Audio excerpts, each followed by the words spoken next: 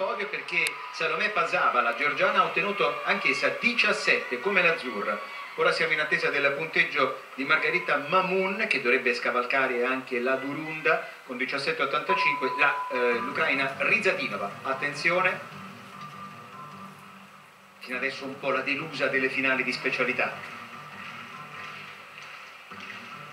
ma anche del concorso generale.